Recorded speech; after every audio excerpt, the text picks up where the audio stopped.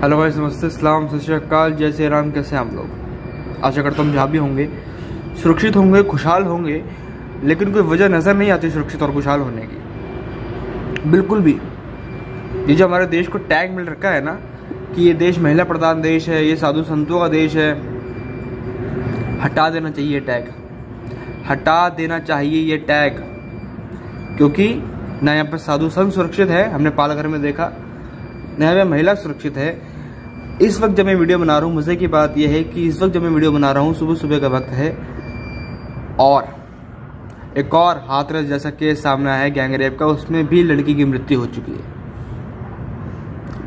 और इसलिए हुई है, और इसलिए केसेस सामने आते हैं। आपको याद होगा प्रियंका रेड्डी केस का टाइम पे मैंने आपको एक बात कही थी कि अगर हमने मुस्लिम कंट्रीज़ से कुछ सीखना है ना, ये तेल ये तेल के खदानों के अलावा हमने कुछ लेना है, अगर तो हम बहुत चीज़ सीख ले सकते हैं। सऊदी अरेबिया से, अफ़गानिस्तान से, यूएई से।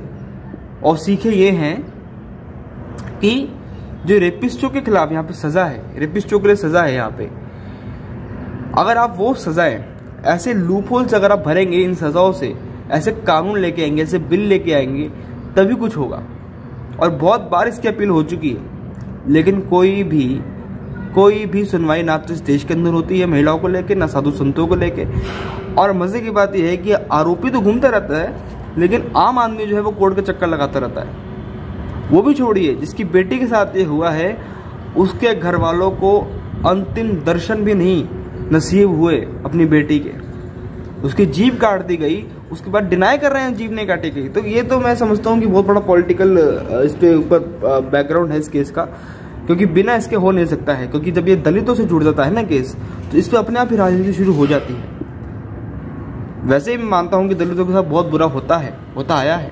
और मैं अपने आप पे अप्रकाश होने के नाते शर्मिंदगी महसूस करता हूँ कि जिनका काम है दलितों की सुरक्षा करना, अगर आप भगवत गीता पढ़ेंगे तो क्षत्रियों का, ब्राह्मणों का ये कर्तव्य भगवान कृष्ण जी ने कह रखा है कि इनको जो है शूद्राओं का सुरक्षा इनके हाथ में है।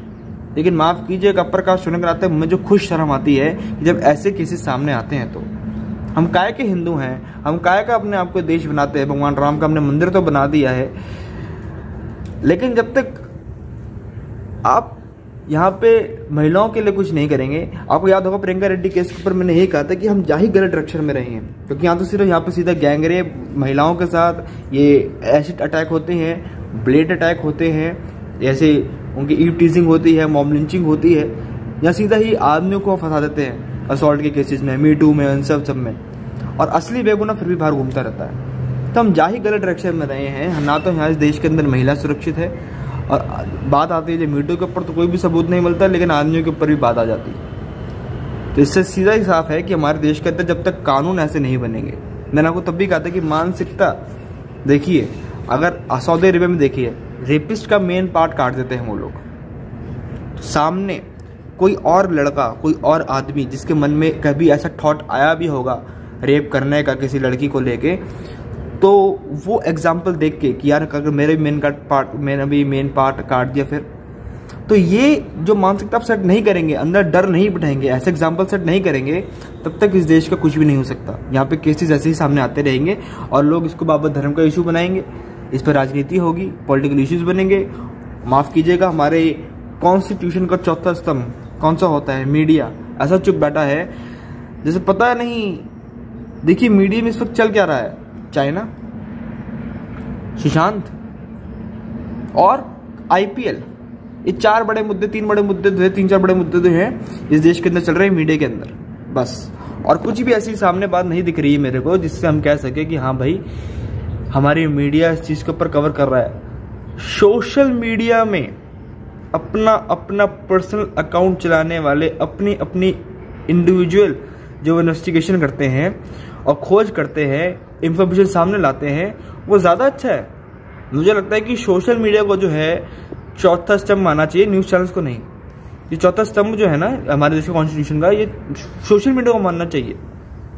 क्योंकि न्यूज़ चैनल से ज़्यादा इन्फॉर्मेशन फेसबुक और इंस्टाग्राम पर है ट्विटर पर है। अगर हमारे देश की मीडिया जो करोड़ों रुपए कमाता है, अगर वो ऐसी हरकत करेगा और इन मुद्दों से भागेगा तो हम किस पे भरोसा करेंगे? क्योंकि पुलिस, पहली बात तो यूपी पुलिस की बारे में बात करूँ तो यूपी पुलिस की मैं कड़ी शब्दों में निंदा करता हूँ, कड़ी शब्दों में निंदा करता हूँ। और यूपी सरकार की भी कड़ी शब्दों में निंदा करता हूँ। क्योंकि अभी एक चौबीस घंटे भी नहीं हुए हैं। इस ये जो वाक्य अभी चल रहे थे इतना टाइम से और 24 घंटे भी नहीं हुए हैं इस चीज़ को कि हमारा गुस्से शांत हुआ हो। और कुछ घंटे अभी बीते भी नहीं उसकी मौत को उस लड़की की मृत्यु को। लेकिन दूसरा के सामने आता है। तो ऐसा क्या है वहाँ पे कि लॉ एनफोर्समेंट बिल्कुल जो है बाहर हो चुका है? हा? और वो तो योगी जी और मोदी जी, देखिए मोदी जी ने खुद योगी जी से इस बारे में अपील करी है, उनको कहा है, निर्देश भी दिए हैं कि इस पर कड़ी कार्रवाई होनी चाहिए। और कुछ योगी जी हैं तो थोड़ी इस देश को उम्मीद है। क्योंकि जिस तरीके से हम कहते हैं कि is a man with a spine उनके पास एक रीढ़ की हड्डी है, वो झुकते नहीं है फ्लेक्सिबल नहीं है वो इन केसेस को लेके।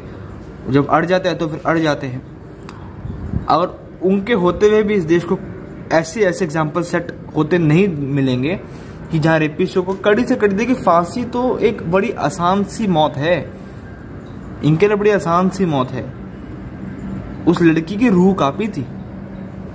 आत्मा कापी थी उस लड़की की। उसकी 50 परसेंट भी 20 परसेंट भी ये मौत नहीं होगी अगर उनको फांसी भी होती है तो। आप जब तक तो वो तड़प, वो दर्द आँखों से खून निकलता नहीं देखेंगे ना इस रेपिस्टों का तब तक आपका मेरा, हमारा लहू को शांति नहीं मिलेगी। माफ़ कीजिएगा, इस देश बड़ा ही शर्मिंदगी महसूस होती है देश में।